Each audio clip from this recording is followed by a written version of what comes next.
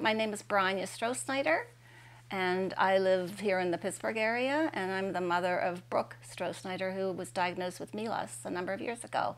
So Brooke was diagnosed in, uh, let's see, she was diagnosed in December of 2011, which was about eight months after she had her first symptoms that were known to us or to her.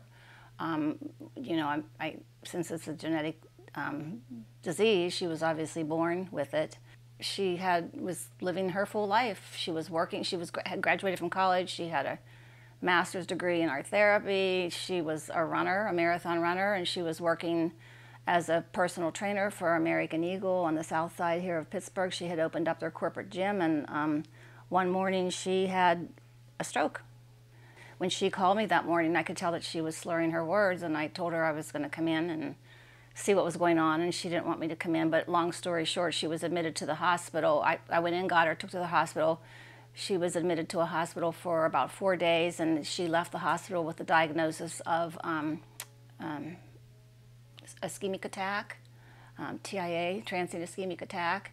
So we were happy that that's usually a diagnosis that you know that resolves itself. Um, however, when we left the hospital and then the weeks that ensued, she gradually became worse. She didn't she didn't get better. So we started with her family doctor and we moved on to some specialists and no one knew what was wrong with her. Uh, we ended up at a neurologist um, who was treating her, she was getting worse by that point. Um, she, her language had deteriorated, um, her ability to understand and to even to write um, was deteriorating. Her she had a lot of movement um, problems, so we ended up at a movement disorder clinic.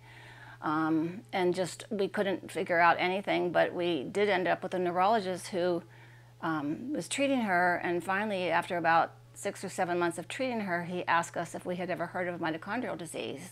And we said no, we hadn't heard of it. Neither had she or her, her dad, or nor myself. I, you know, it was a long word, and so he explained it to us. Um, and then we ended up um, getting um, further diagnosis at Children's Hospital for that. So, and that's where we went.